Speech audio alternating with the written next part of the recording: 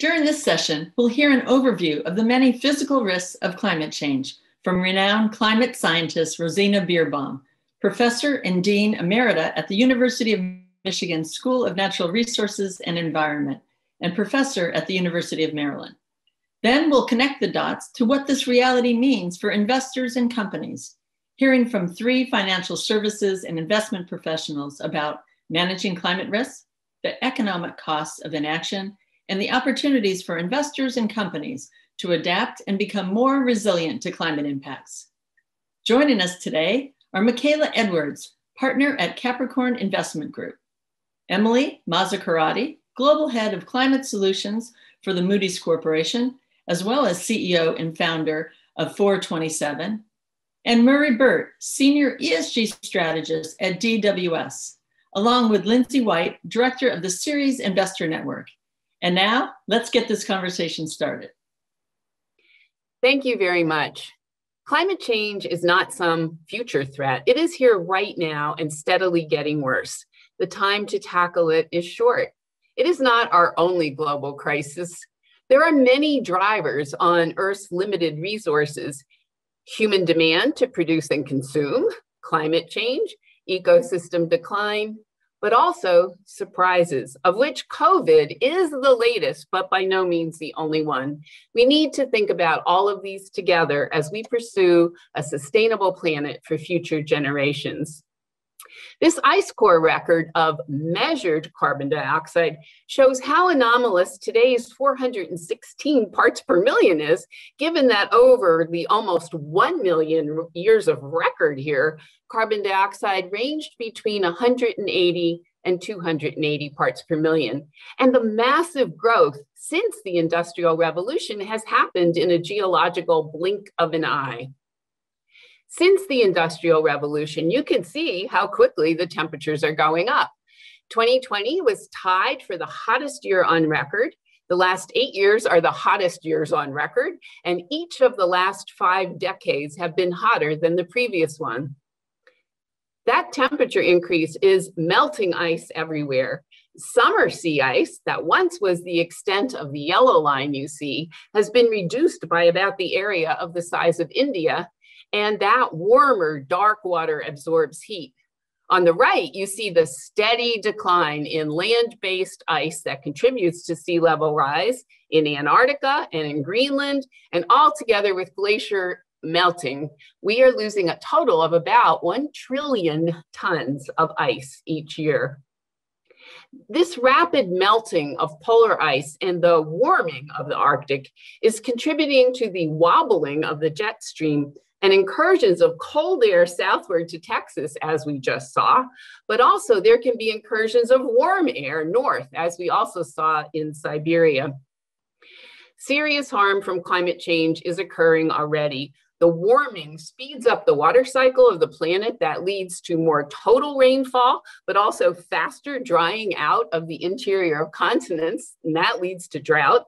So we have disruptions in food supply and water, in energy, in supply chains, and the warmer oceans are fueling more energy to hurricanes, which are becoming more destructive.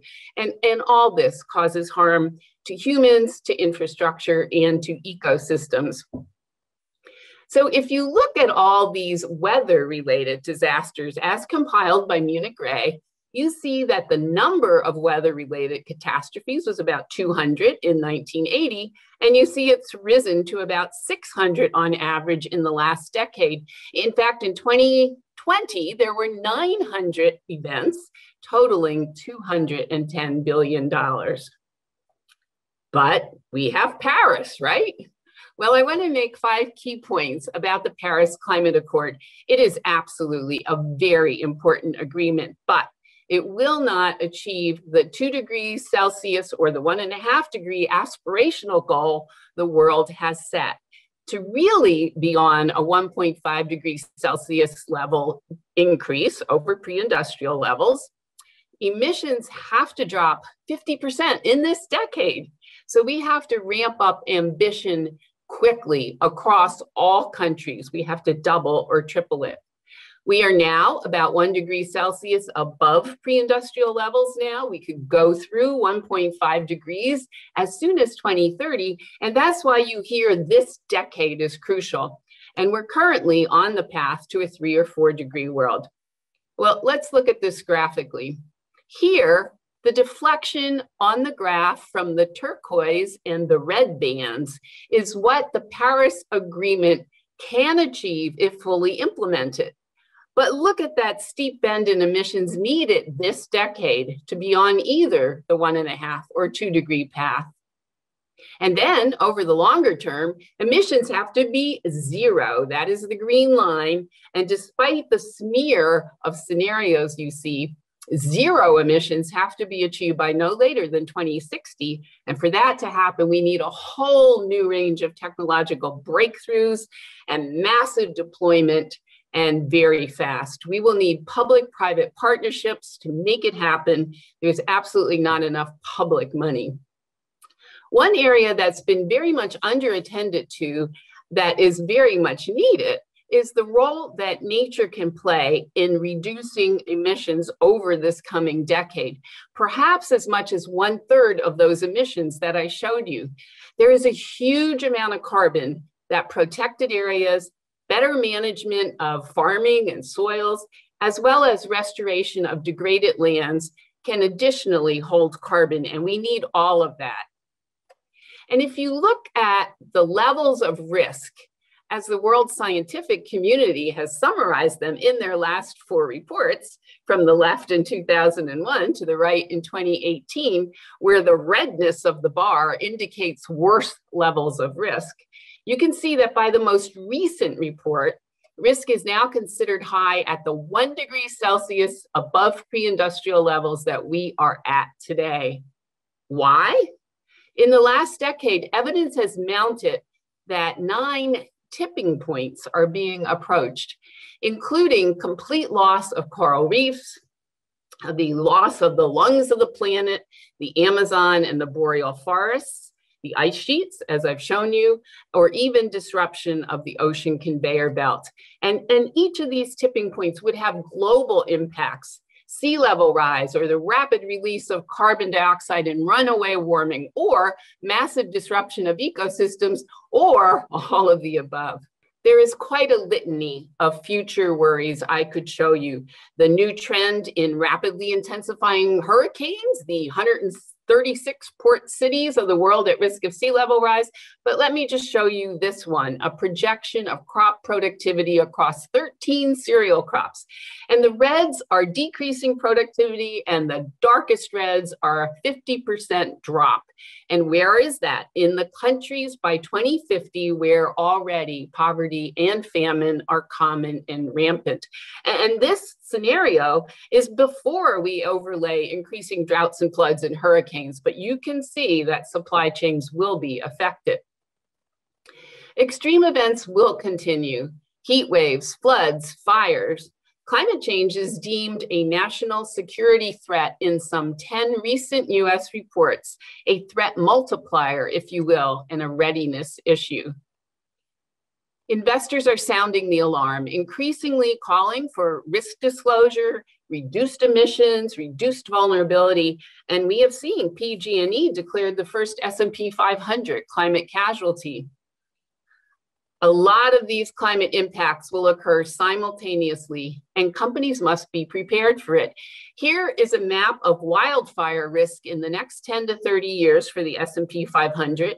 And while companies funneled some $500 billion to climate change investments last year, only 6% focused on adapting to these ongoing and accelerating changes.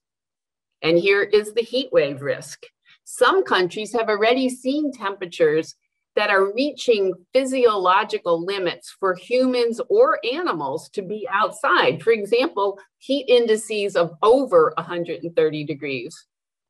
I want to come back to where I began that all climate change, biodiversity loss, and the continuing demand for resources and surprises need to be tackled simultaneously In 2020, the World Economic Forum had five completely environmental risks as their most likely risks. These are the green ones. And you see in 2021, infectious diseases joined the environmental list. And in a separate report on COVID 19, they noted the interconnected nature of emerging infectious diseases, biodiversity loss, and climate change, and argued we must attack them all simultaneously. Human well being depends equally on ecological capital, social capital, and economic capital. But we have tended to discount two thirds of the legs of this stool. So, as we seek to build back better, we need to think about building back greener, COVID recovery packages. And indeed, if you look at the Sustainable Development Goals, the bedrock goals are life on land and life in the water, the stability on which our societal goals, and ultimately the top layer, our economy rely. The time to act is now. We can delay and pay, or we can plan and prosper. Thank you very much. Thank you, Rosina. We will now welcome three members of the Ceres Investor Network and the Ceres Company Network Moody's Corporation, Capricorn Investment Group, and DWS. They will share their insights on the economic implications of physical climate risks and will describe their approach to the analysis and incorporation of climate science data as a key part of fundamental investment analysis. Finally, they will describe how that analysis positions both companies and investors to manage risks and capture investment opportunities aligned with the acceleration towards a net zero global economy. It is now my pleasure to introduce our next speaker, Emily Mazzacurati of Moody's and 427. Thank you, Lindsay, and thank you, Ceres, for convening this panel. Climate change has emerged as one of the dominant issues of our time in terms of impacts on communities and ecosystems, but also in terms of economic and financial impacts. These impacts manifest at the macroeconomic level as well as at the company and facility level. They touch every asset class, every sector, every region. In a recent report, the Financial Stability Board noted that physical climate risk could lead to a sharp fall in asset prices, an increase in uncertainty, and destabilizing efforts on the financial systems, including in the relatively short term. New analytics released by Moody's ESG Solutions and 427 project that by 2040, the number of people exposed to damaging floods will rise from 2.2 to 3.6 billion people. That's almost 41% of the global population. Roughly $78 trillion, the equivalent of 57% of the world's current GDP will be exposed to flooding.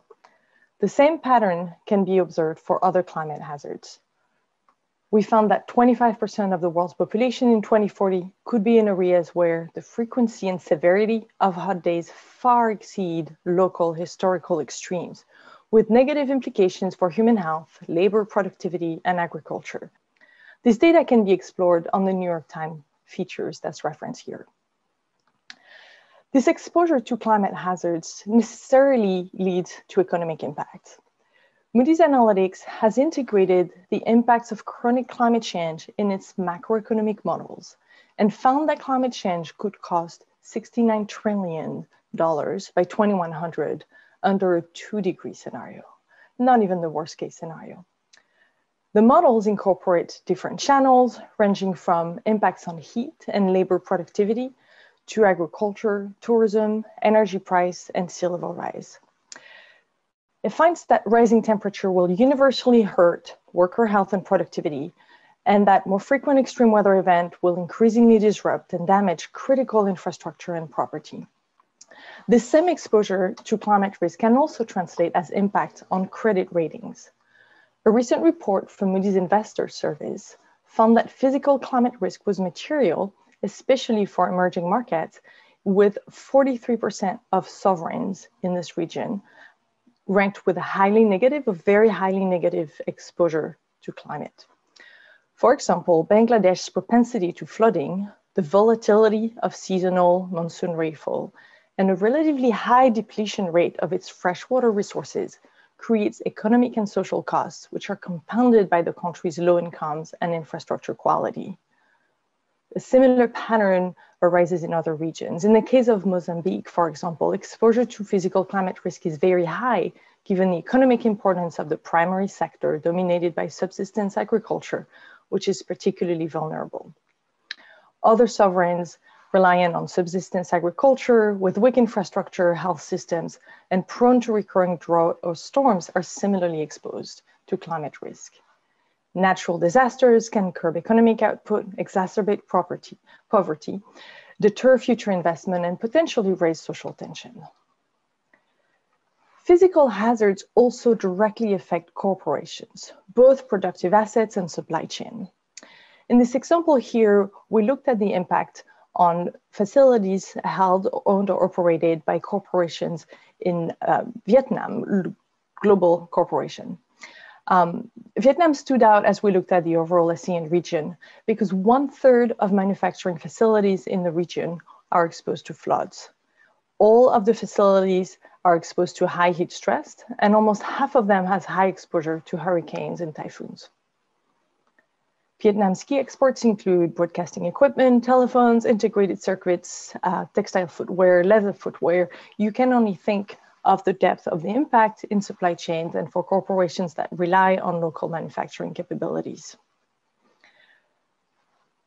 In another analysis, we looked at the impacts on chemical manufacturing, including pharma, and we found that for more than half of the companies, one in five facility had high exposure to the risk of floods. If you think of the dependency of the global economy right now on pharmaceutical facilities' ability to produce vaccine for COVID, you can only think of the ripple impact when climate and extreme weather events disrupt these productions. Just like for sovereign, physical impacts also affect performance and credit risk. Moody's Analytics modeling of impact of physical uh, climate change on credit risk shows an increase in the probability of default for firms that have high exposure to climate risk.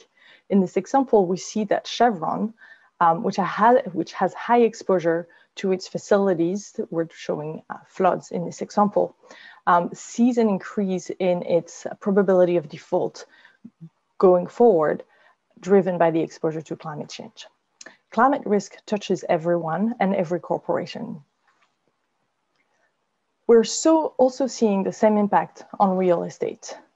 Um, in this specific example, we're looking at the impact of floods on commercial real estate in the US. The modeling team um, looked at um, past, uh, the impact of past uh, floods to see how rent, vacancy rates, operating expense, and net operating income had evolved over time following those impacts. These changes help us understand how extreme weather event increasing in frequency and intensity will continue to drive disruption and long-term impact on each of those markets. So this is a call to action. The level of reporting what we know of risk management for those risks is insufficient. There is a need for lenders and investors to understand what are the risks they hold in their portfolio by way of the companies that they do business with there is a need for corporations to explain and demonstrate that they are managing those risks adequately. And globally, there is a need for more investment in adaptation and resilience. Thank you again to Ceres for convening this year's event. As we've seen in Rosina's and Emily's presentations, the risk opportunity equations of climate impacts has changed abruptly over the past year. Consider that in 2020 alone, the market capitalization of clean technology companies increased by nearly $1 trillion, while the market cap of oil and gas companies declined by roughly $660 billion. Markets are aggressively repricing stranded assets and exposures to high emissions. At the same time, investments in rapidly growing green industries are delivering great windfalls for investors. This dispersion indicates that climate science data is critical to risk management and also presents investment opportunities. At Capricorn, our primary focus is on the right tail opportunities, capital allocation to solution providers, so positive selection. We invest in future and hopefully often unrecognized growth companies with high sustainability performance, such as those with lower greenhouse gas emissions, diverse executive teams, and well paid employees. We do risk mitigation on the left tail of the distribution by minimizing our stranded asset risk. The combination of these two strategies has delivered higher risk adjusted return over the long term. When it comes to climate data, there is no regulatory or market standard of what climate data to report on, how to report it, or even how to score it. The fact that there is no consensus speaks to the inefficiency and information disparity that exists, and that creates the opportunity for an edge by utilizing climate data. What will always be central to Capricorn's methodology is the focus on the raw data. Investors rely on proprietary research to make projections about the future performance of a company. Climate data is crucial to uncover climate opportunities and manage risks. We believe the differentiation is in interpreting the primary raw data, in understanding the technology and how it addresses the specific piece of the climate change puzzle. While some sectors are more at risk, climate data is a critical consideration across investment portfolios. And if we truly want to transform tomorrow, today, we as investors have a critical role to play. Consider infrastructure, for example. The investments we make will lock in infrastructure for a multi decade time horizon. Our due diligence must be climate conscious and must appropriately manage climate risks, as we must work toward a new net zero era of renewable energy infrastructure globally. Beyond managing climate risks, such as physical risks like extreme weather events, there is also a growing area of investment opportunities related to climate science. Let's take one of our technology investments, Saildrone, which is the world's leading collector of ocean related data.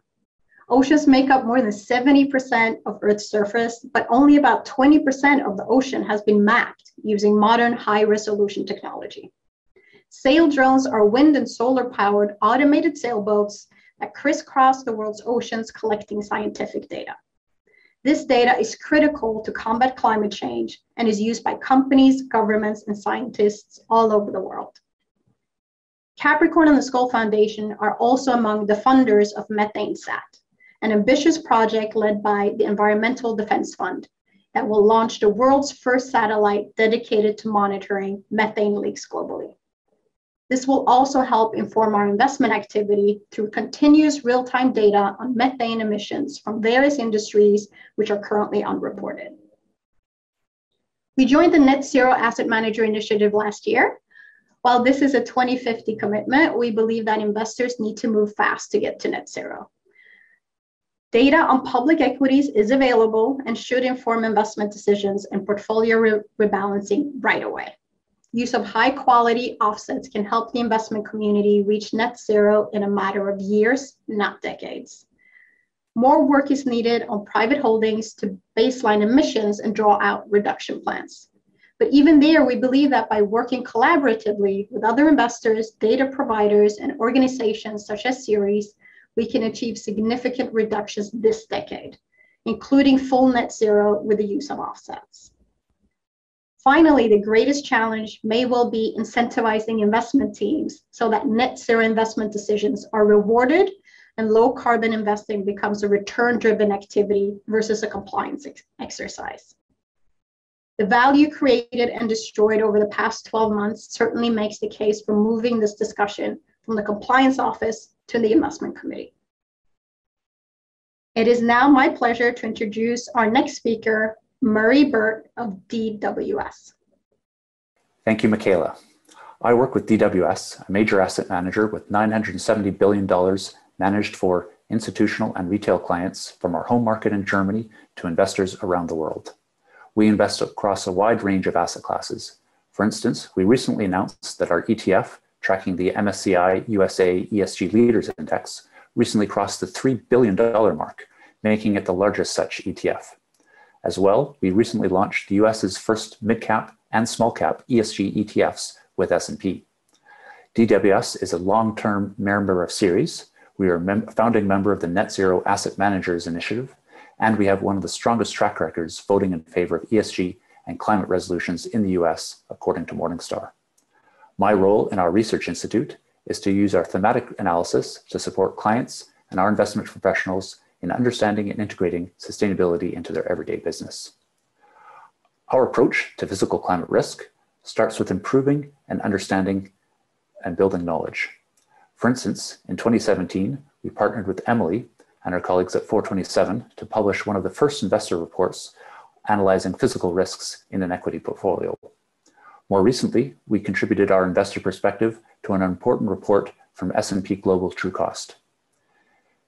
Data providers are undertaking significant innovation to combine climate science with the location of companies, factories, and facilities. An example of this analysis is shown on this slide, illustrating that physical climate risks are much more broadly distributed across the economy, both in developed and emerging economies, than transition risks, which are more concentrated in a smaller number of sectors, according to S&P Global Trucost. Unless decisive effort is made to cut emissions, this graph is likely to change with more companies becoming exposed to higher physical climate risks in future. Investors can integrate risks, for instance, into passive investment products by underweighting high risk companies, or as I will explain in a few minutes, to improve real estate asset resilience. However, just integrating risks into investment decision making will not necessarily help society become more resilient. Investors also need to use our influence to help companies, communities, and governments to adapt and become as resilient as possible to climate impacts. Let me explain. While data providers are helping financial institutions to analyze climate risks, the best risk analysis should come from companies. Recognizing that there has been a gap for companies to analyze and disclose physical climate risks and opportunities, the European Bank for Reconstruction and Development and the Global Center on Adaptation convened an expert group to advance TCFD guidance in this area. I was honored to be asked to chair the Risk Disclosure Working Group, which was very ably supported by 427 and Acclimatize, which is now part of Willis Towers Watson. One of our key recommendations is that corporates should draw on insurance sector metrics to analyze their financial value at risk from acute and chronic climate risks. As well, we basically need a net zero equivalent metric for resilience regarding how companies help their staff, suppliers, and local communities to become more resilient. This report is very useful for the many initiatives underway that are working towards harmonized and mandatory disclosures, and is also a foundation for investor engagement that you, hear, you will hear more about in future. Specifically, Ceres' European sister organization, the Institutional Investors Group on Climate Change, is working to develop investor expectations for companies, which I am contributing to, and I also plan to publish a DWS report on this topic in the near future. While companies can and should do a lot more to help society become more resilient, governments have a major role to play. UNEP-FI convened a group of commercial and development banks, academics, and consultants to advise the Global Commission on Adaptation. I was the sole investor member of the review panel, and we provided recommendations for how the financial sector and public policies could do much more to support a more resilient future. If any listeners today work with or for governments, I also commend this report to your attention. So how can climate science actually inform investment decisions? One example is seen in DWS's private real estate funds, which have integrated climate transition risk and physical risk into decisions on whether to buy different buildings and also into annual portfolio reviews. Working with Measurabl, which receives data from 427, my colleagues identified a particular property which faced significant sea level rise risk. We worked with a leading engineering consulting firm to develop a risk mitigation plan and implemented this plan, for example, by deploying movable flood protection fences. My final slide summarizes the key initiatives for governments, banks, and investors. DWS is a founding member of the Coalition for Climate Resilient Investment, CCRI, and we are contributing to a group that aims to integrate physical climate risks into the cash flow analysis of infrastructure projects. This initiative is strongly needed as a recent article in the academic journal Nature Climate Change found that the rules for financially assessing physical climate risks is in its infancy. For instance, CCRI believes that if an asset is more resilient, then its operating expenditures should be lower, such as by having lower repair costs due to floods. As well, when an asset is sold, a non-resilient asset potentially should be worth less. These hypotheses need to be integrated into investment practices for infrastructure investors. Developing new practices, investment products, and stewardship initiatives are strongly needed to help society adapt and become more resilient. Thank you.